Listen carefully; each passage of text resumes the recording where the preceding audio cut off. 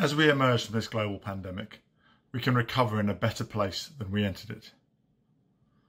We must use the time we have between now and COP26 next year to unite behind a healthy, green, resilient recovery that delivers for both people and planet. We know that jobs and employment are serious concerns for people all around the world, and we know that the world cannot go back to business as usual. Recovery plans must ensure a socially just future. I'm happy to support the ITUC in their ask for everyone to get behind the Climate and Employment Proof Our Work campaign, hashtag CEPOW. We can help countries, companies and workers to have a conversation together on plans for a resilient, zero emission future, which I hope will encourage many more actors to join the race to zero.